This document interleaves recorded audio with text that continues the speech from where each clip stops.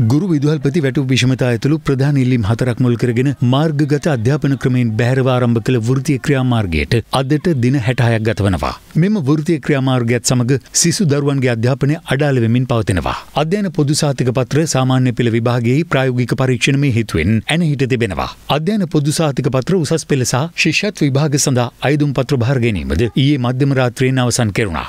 කෙසේ වෙතත් උසස් පෙළ විභාගයේ පැවැත්වෙන පාසැල් තුන්සිය පනස් හතරෙන් පාසැල් දහසයක් සහ ශිෂත් විභාගයේ පැවැත්වෙන පාසැල් තුන්දහස් දෙසි අසුත්තුනෙන් නවසය හතලි සතරක් පමණක් මේ වන විට අයදුම් පත් සම්පූර්ණ කර තිබෙනවා. මේ හේතුවෙන් මේ වන විට සිසුන් විශාල පිරිසක් මෙම විභාග සඳහා අයදුම් කර නොමැති බවයි වාර්තාවන්නේ. මීට පිළියම් වශයෙන් විභාග සඳහා අයදුම් නොකළ සිසුන්ට අසාධාරණයක් නොවන ආකාරයට ක්‍රමවේදයක් සකස් කරන බව අධ්‍යාපන අමාත්‍යංශය පවසනවා. අධ්‍යාපන බලධාරින් එලෙස ප්‍රකාශ කළද ගුරු විදුහල්පති වෘතිය සංගම් නියෝජිතයන් පවසන්නේ තම ඉල්ලීම් වලට සාධාරණ විසුම් ලබා නොදී සිදු කරන මේ ක්‍රියා තුළින් සිසුන්ට සිදුවන අසාධාරණයට අධ්‍යාපන බලධාරින් වගකිව යුතු බවයි. වසර විසිහතරක් පුරාවට නොවිසිඳුණු මෙම ගැටලුව සඳහා එකවර විසඳුම් සෙවීමට යාමෙන් තම දූදරුවන්ගේ අධ්‍යාපනයට දැඩි බලපෑම් එල්ල වෙමින් පවතින බවයි මව්පියන් පවසන්නේ. මේ ගුරුවරුයි රජයයි දෙපැත්තට අනුගත ඇති ඉන්නවා. ගුරුවරුන්ට ඉතිකමක් තියෙනවා කණ්ඩායමගෙන මේ වැඩේ ඉදිරිය ගෙනියන්න කොහොමද? ඉතින් ගුරුවරුන්ගේ පැත්තෙන් සාධාරණයි. ඒගොල්ලන් ඉල්ලීම් වෙනුවෙන් සටන් කරන්නේ. අද රටේ තියෙන තත්ත්වේ රට නෙමෙයි ලෝකේ තියෙන තත්ත්වේ බලපුවාම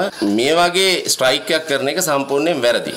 ගොඩක් දරුවෝ දැන් මේ ඔන්ලයින් අධ්‍යාපනය නිසා යම් තාක් දුරට අධ්‍යාපනය කරගෙන ගියා. නමුත් දැන් දරුවන්ගේ අධ්‍යාපනය එහෙම්මම කඩා වැටලා තියෙනවා. මම අම්මා කෙනෙක් වශයෙන් වැඳලා ඉල්ලන්නේ මේ සෙල්ලම ඉවර කරලා දරුවන්ට අධ්‍යාපනය ලබා දෙන්න කියලා.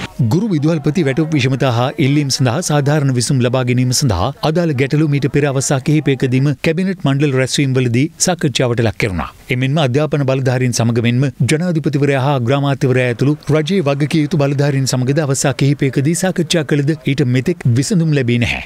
අධ්‍යාපන බලධාරීන් සහ රජයේ නිලධාරීන් අදාළ ගැටලුව විසඳීම සඳහා ඉදිරිපත් කරනු ලැබූ වැටුප් විෂමතා විසඳීමේ යෝජනාවටද ගුරු වෘත්තීය සමිති කිහිපයක් එකඟතාව පළ නොකිරීම නිසා මෙම ගැටලුව තවදුරටත් අර්බුදයක් බවට පත්වෙමින් තිබෙනවා. මේ අතර මාර්ගගත අධ්‍යාපනය හරහා දරුවන්ට අධ්‍යාපනය ලබා දෙන ගුරුවරුන්ට විවිධ තර්ජන එල්ලවන බවට පොදු ජන අධ්‍යාපන සේවා සංගමේ ආරක්ෂක අමාත්‍ය සරත් වීරසේකර මහතාට දැනුම් දී තිබෙනවා. අපේ බහුතර ගුරුවරුන් පිරිසක් ඔන්ලයින් මාර්ගය ඔස්සේ අධ්‍යාපනය ලබා දෙනවා.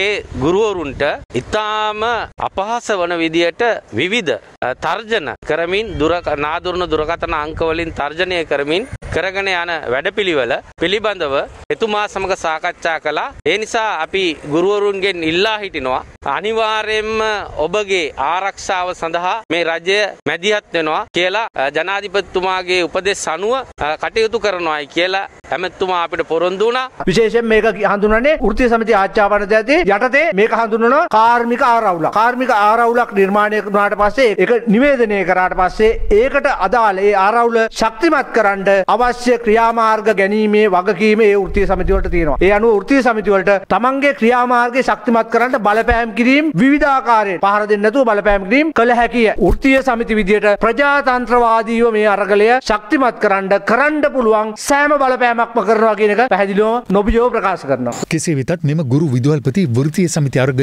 විසඳීමට සහ සාධාරණ විසුම් ලබා දීම සඳහා අධ්‍යාපන අමාත්‍යංශ ලේකම් මහාචාර්ය කපිල පෙරේරා මහතා සහ ගුරු වෘත්තීය සමිති සංගම් අතර අද සාකච්ඡාවක් පැවැත්වුණා. විදුහල්පති සංගම් සියලුම වෘත්තීය සමිති කැඳෙව්වේ කැඳවලා ලේකම්තුමා පැහැදිලි කරන්න හැදුවේ මේ වෙලාවේ දරුව අසරණ කරන්න එපා කියන එක තමයි කිව්වේ ඉල්ලීම කරන්න තමයි ඇත්තටම අද කැඳෙව්වේ. රුපියල් 5000 දීමනාව විකල්ප ගුරු සංගම් එපා කිව්වා. දැන් අපේ සංගම් ඒක අරගෙන ඒගොල්ලෝ වැඩ කරන්න කැමති.